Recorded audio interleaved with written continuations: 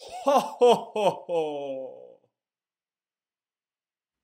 Day 7 of the Advent of Code. Today we are playing poker. So many memories from university when we were playing Texas Hold'em. But unfortunately, today we're actually playing Camel Poker, which takes away all of the fun from the game. In fact, we just have to score cards. But you know, we need to get those stars, so let's get it done. Okay, part one. So we have a list of hands and a bid associated with, with each hand. What we need to do is that we first need to rank those hands by their strength. So let's do that first as an example. So we have this hand here, which has a pair of three. So this is rank one. Then we have two hands here that are uh, that contain two pair. So we need to decide which one is stronger. And the way we do it is that we first compare the first two cards. Those are kings, they are the same, so nothing. Then we compare the second cards. And here we see that 10 is weaker than king, so we have rank 2 here and rank 3 here. So on and so forth. And then what we need to do is that we multiply the rank by the bid and we sum them all up together. So we will do 1 times 675, 6 sorry, 765, 2 uh, plus 2 times 220 plus 3 times 28, so on and so forth. Okay, let's see how we solve this part. So let's imagine for a second we have a data structure that we can iterate in the order of strengths of the cards. If we can do that, and also let's imagine that we have a tally, which is a map that gives us the bid given a hand. Then we can just iterate through this data structure and sum rank times bid. Well, turns out we can actually have the data structure. We can use a binary tree where we insert things in order by their strength. And how do we do that? So we have a type hand, which is just a string pretty much. And what we do here is that we implement an interface that is needed by the binary tree to insert elements in order. And the order is the strength of the card. Now, the trick we use here is that to calculate the strength, we calculate the type of the hand, high card, one pair, two pairs, so on and so forth, and the strength of each individual card, and we combine them as a string which means that, for example, for a, um, for a pair, for a high card, we would have one.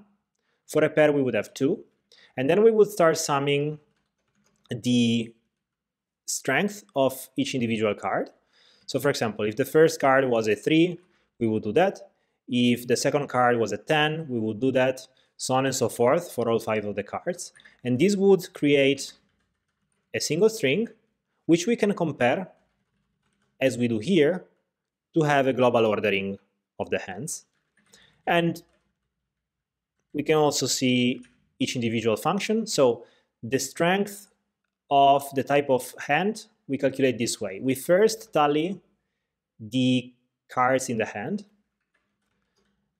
and then we create a slice which counts how many types, how many cards are the same. So we could end up, for example, with five cards being the same. We mark that as seven. Uh, four, car four of a kind, we call it six. Uh, full house, we call it five. Trees, we call it four, so on and so forth. And then we have a function for, uh, this is just an helper function to calculate the equality. And then we have a function here to calculate the strength of uh, um, all of the cards in the hand, where ace counts as 14, king 13, uh, and between 2 and 9 we use that digit actually. Part 2. Okay, so now there's a bit of a twist. J cards are jokers, which means they count as the card that makes the, the hand the strongest, but when it comes to their strength as an individual card, they are the lowest.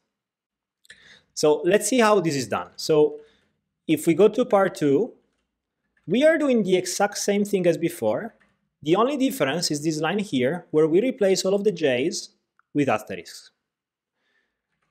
And then, here, we count the jokers when we're uh, checking the strength of the type of the hand. And when we find an asterisk, we don't add it to the tally, but we keep it on the side marked as a joker. And then when we get here, we actually make the hand the strongest we can by placing jokers in the right place.